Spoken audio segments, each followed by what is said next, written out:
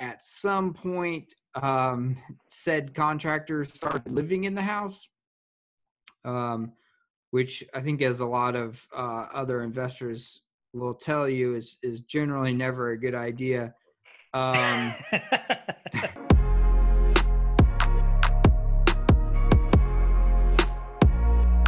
yeah, so a little bit of backstory. Um, the previous owner bought the house, I believe, like in 2017, and he he had had somebody who was working on the house. They were actually planning on rehabbing the house, uh, and I believe selling it themselves.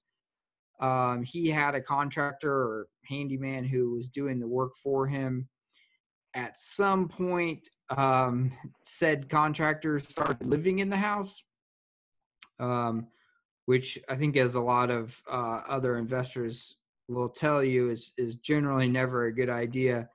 Um, and so, as and as the neighbors will tell you, um, was a very uh, rocky couple years uh, around that house. So. Are we are we being generous by calling this uh, other contractor an actual contractor? I feel like we're being generous by labeling him as an actual contractor. I mean, just uh, you know, I guess anybody that holds a hammer can call himself a contractor, but I mean, it's just uh, more or less yeah. Craigslist schmo, right?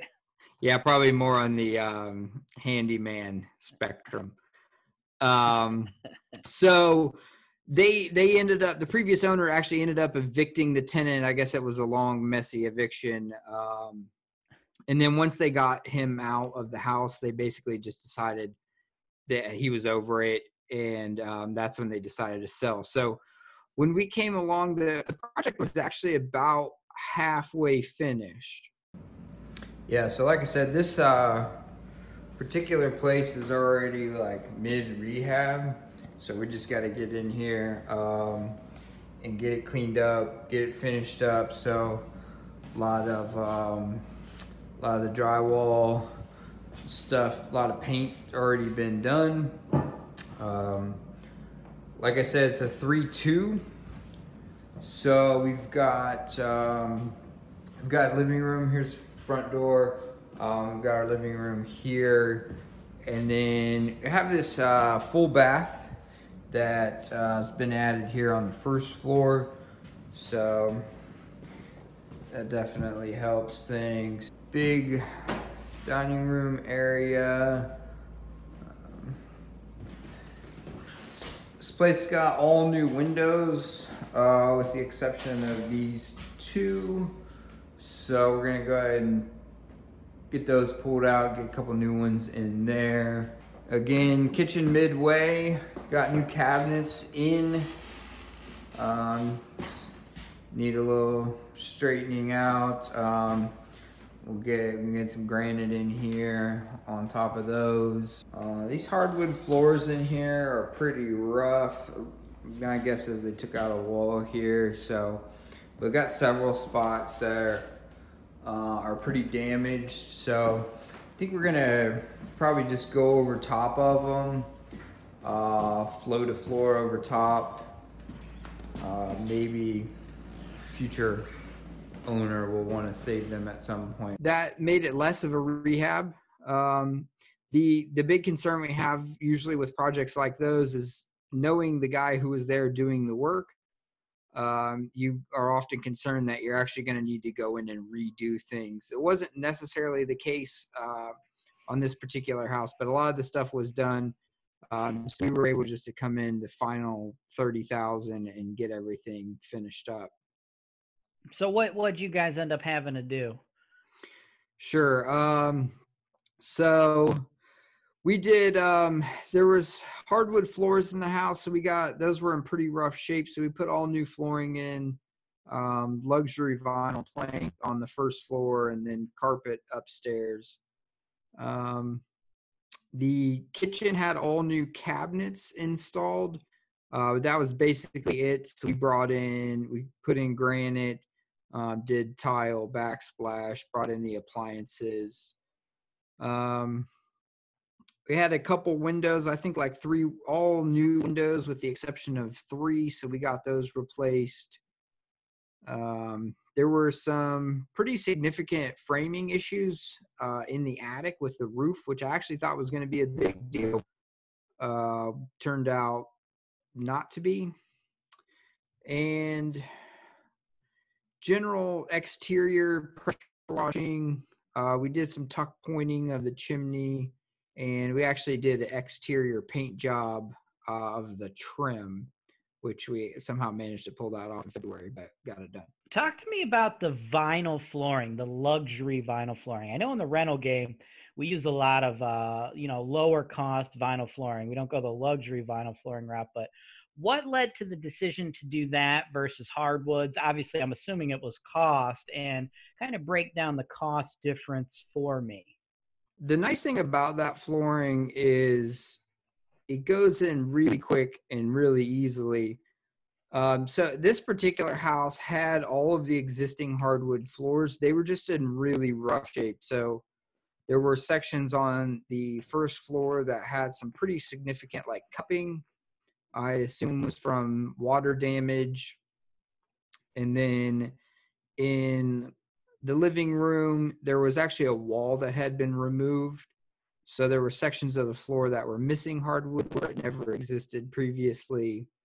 Um, and then a lot of random, just broken sections uh, on the second floor. So the nice thing about the the LVP flooring is it just floats over whatever existing floor is there. So sort of my thinking was that we just drop in this new floor, it looks nice and new, and then the future owner um, can be made aware that there are existing hardwood floors there if, if somebody wanted to uh, put the money into uh, saving them at some point down the road.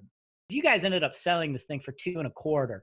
What value, like where in your particular market, Columbus, Ohio, where is the cutoff point where you could no longer get away with utilizing a vinyl product versus an actual hardwood? Uh, it's probably in that 250 realm, I would imagine. Um, honestly, for the bulk of what we're doing, we're we try to stay under that 250 mark um, on the sales side. But um, yeah, it's probably right there. And again, this one was a little bit unique because uh, my plan all along was to just cover the hardwood, and in that way, it was accessible for repair uh, for the future. Why Why do you guys like to stay under that 250 mark?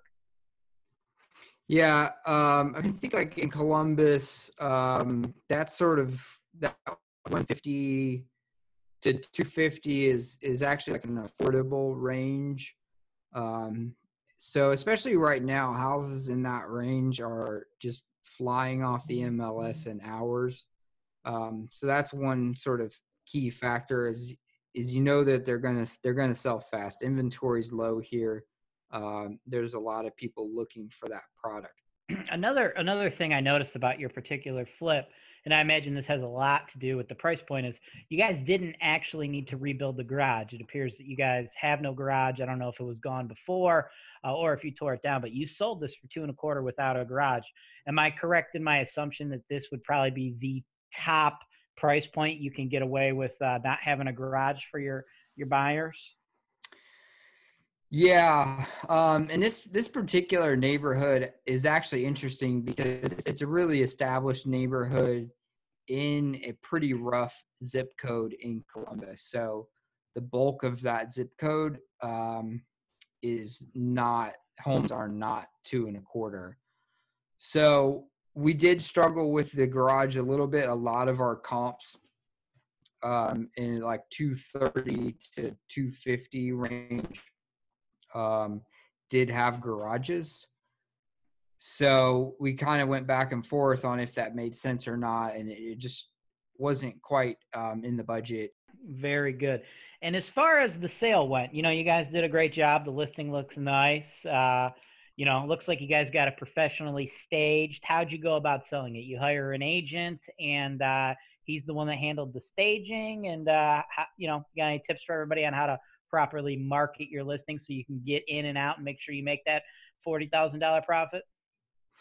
Yeah, so my partner, uh, Harvey Jurgen, uh, who was actually on a previous episode of this show, but um, he's, he's a real estate agent, so he handles um, the bulk of our listings. We have been uh, hiring out some of our other listings recently, some that are surrounding areas of Columbus.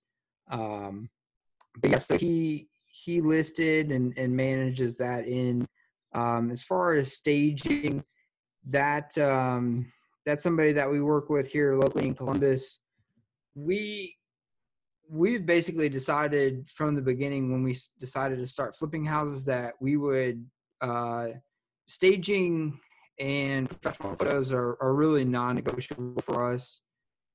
I think that there's a lot of houses that get listed with terrible photos and um, awkward rooms and things that you can't quite figure out. And I think the staging and professional photos for, you know, the two thousand dollars that we're into that is is worth it every time. So we just underwrite that into every deal. Um, but yeah, Harvey uh, is handling the listings. That's a that's a great tip, Josh. Uh, I think a lot of people, when they get to the end of it, they try to figure out how they can cut corners and cut costs, and they're like, oh let's not spend this two thousand dollars so we make an additional two thousand dollars. But you know, it sounds like you guys have already figured it out that that's not how it works, guys. You know, one of the most important things is the marketing at the end. So it's not like you're if you don't spend the two K, you're gonna make it. You're probably gonna lose it, right? You gotta you gotta pay to play, folks, and you know you gotta put your best foot forward. And it costs money to properly market a property, which it seems like you folks have already figured out. Yeah, and I think for us, I mean, like I said, we we underwrite that in the beginning of the deal, so um, it's you know non-issue. Thanks for watching. Subscribe to Holton Wise TV for more financial information, education, and entertainment.